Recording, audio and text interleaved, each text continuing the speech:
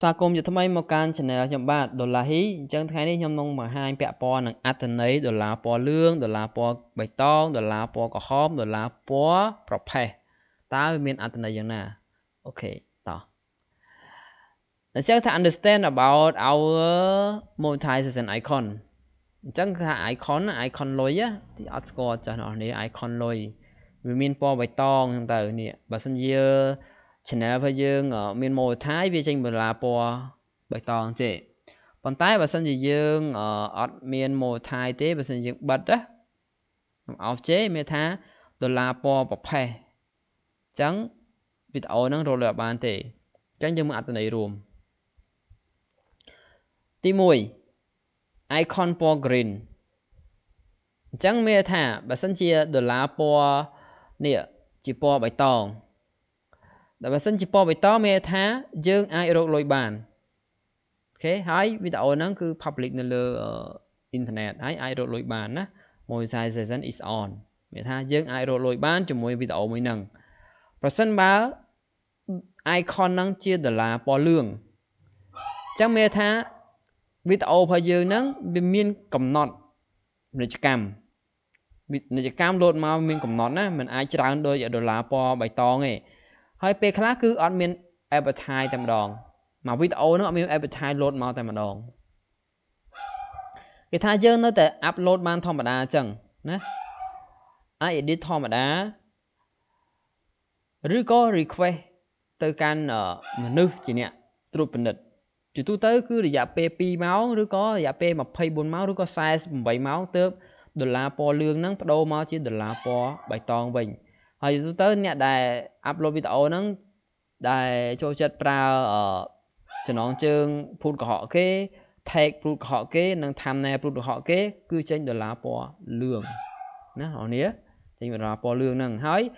ដើម្បីធ្វើដុល្លារពណ៌លឿងដល់ជាបៃតងវិញលុះត្រាតែយើងកែប្រែទាំងអស់នោះសិនទាំងចំណងជើងទាំង tag អឺទាំង thumbnail ហើយយើងធ្វើការ request ទៅកាន់ YouTube ទី1ម៉ាស៊ីនជាអ្នកត្រួតពិនិត្យឬក៏មនុស្សជាអ្នកត្រួតពិនិត្យ ហើយបើត្រួតពិនិត្យវាទូទៅ2ម៉ោងបើសិនជាត្រឹមត្រូវវានឹងចេញដុល្លារពណ៌លឿងបៃតងវិញពីពណ៌លឿងមកបៃតងវិញហើយបើសិនជាយូរអាច24ម៉ោងឬក៏48ម៉ោងទើបផ្លាស់ប្ដូរពីបៃពណ៌លឿងទៅជាពណ៌បៃតងហើយករណីខ្លះនៅតែពណ៌លឿងដដែលដោយសារយើងបដូរហើយមិនត្រឹមត្រូវតាមអ្វីដែលមានថា friendly guideline ណា advertiser friendly content guideline ណាអូខេហើយចុះបើសិនជាពណ៌ក្រហម បើសិនជាដុល្លារពណ៌ក្រហមអញ្ចឹងមានថា you turn on monetization ប៉ុន្តែយើងមាន copyright ហើយវីដេអូហ្នឹងគឺมันអាចរកលុយបានទេពេលខ្លះអញ្ចឹងយើងត្រូវតែធ្វើការតាក់ទងទៅកាន់ម្ចាស់គេចាស់ដើមដើម្បីឲ្យសមសិទ្ធក្នុងការអាប់ឡូតវីដេអូហ្នឹង បើមិនចង់ជាប់ copyright claim បើសិនយើងនៅតែផុសហើយអត់បានតាក់ទងនៅម្ចាស់ដើមទៀតម្ចាស់ដើមមានសិទ្ធណាម្ចាស់ដើមមានសិទ្ធធ្វើឲ្យ channel យើងជាប់ copyright claim ដោយសារមើលកន្លែងនេះណាអ្នកមាន monetization ណាគឺមានកន្លែងហ្នឹងមើលអញ្ចឹងនេះនេះគឺជាវីដេអូដែលយកយកទៅផុសមានអ្នកផ្សេងយកទៅផុសហើយផុសហ្នឹងកម្រិតប៉ុណ្ណាហើយ channel ឈ្មោះអីយកទៅផុសហ្នឹងតោះនេះគឺគេ report ទៅយើងជាប់ copyright strike តែម្ដង ចឹងបញ្ជាក់ឡើងវិញបើសិនជាដុល្លារពណ៌ក្រហមយើងកំផុសអីឃើញដុល្លារពណ៌ក្រហមលុបចោលទៅឬក៏យើងធ្វើការផ្លាស់ប្ដូរភ្លេងភ្លាមភ្លាមឬក៏ផ្លាស់ប្ដូររូបភាពភ្លាមភ្លាមនៅក្នុងវីដេអូហ្នឹងអូខេយើងអាច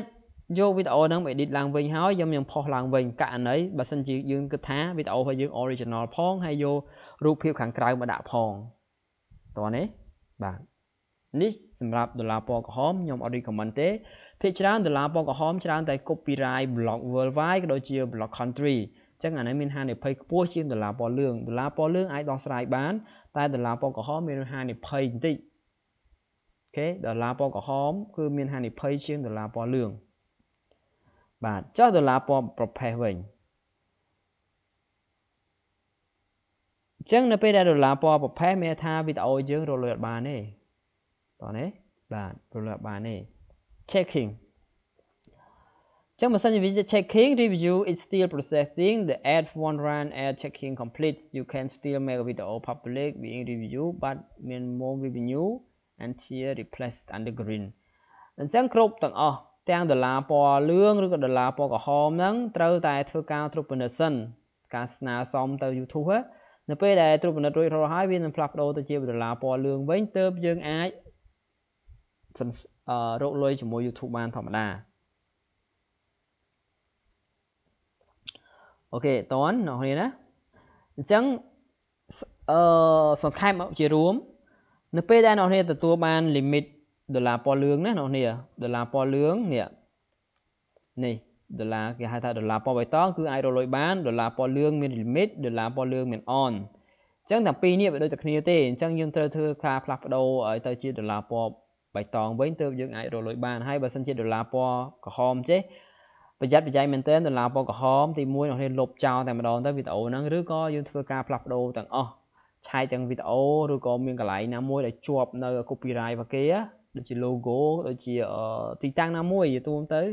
អាចជាប់ worldwide block worldwide ក៏ដូចជា block country អញ្ចឹងបើសិនជាពណ៌ក្រហម